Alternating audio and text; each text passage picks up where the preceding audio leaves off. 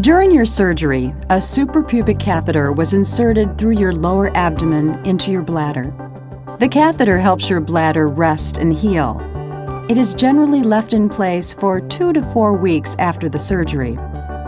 Each morning and night, the dressing is changed and the skin around the catheter cleaned. This is best done in the shower, but can also be done while sitting or lying down.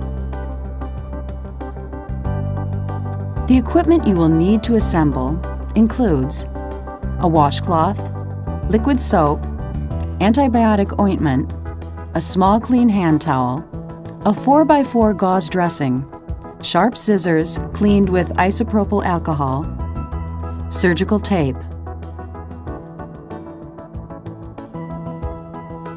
Always before you touch the catheter or the dressing, carefully wash and dry your hands. Before going into the shower, ensure that the catheter plug is secure in the end of the catheter. Gently remove the dressing from around the catheter.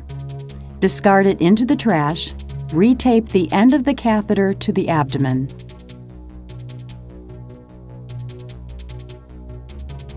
Examine the skin around the catheter by pulling up on the lower abdomen or using a mirror. A small amount of redness and clear drainage is a normal reaction of the skin to the catheter. A large area of redness or colored or foul-smelling drainage must be reported to your doctor.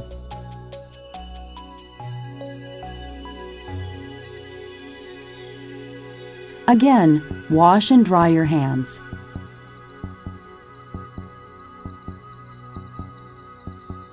Go into the shower taking the liquid soap and washcloth with you. Clean the rest of your body without touching the catheter or the lower abdomen. Then soap the washcloth and use it to cleanse gently around the catheter site. It is not used for the rest of your body.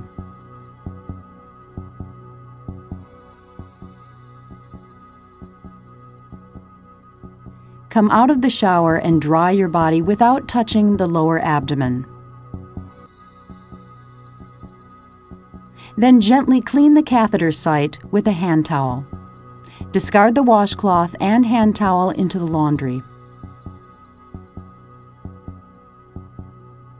Apply a small amount of antibiotic ointment to the skin around the catheter site.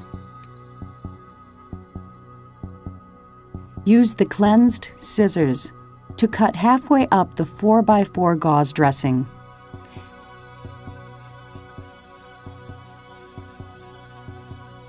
Place the gauze dressing around the catheter. Tape the gauze to the abdomen. And check that the tape holding the end of the catheter to the abdomen is secure. Wash and dry your hands.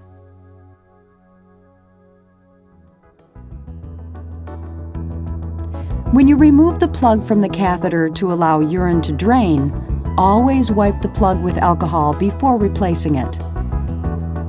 A prepackaged alcohol wipe is good for this purpose. If you connect your catheter to a drainage bag overnight, store the plug in a disposable plastic cup of isopropyl alcohol.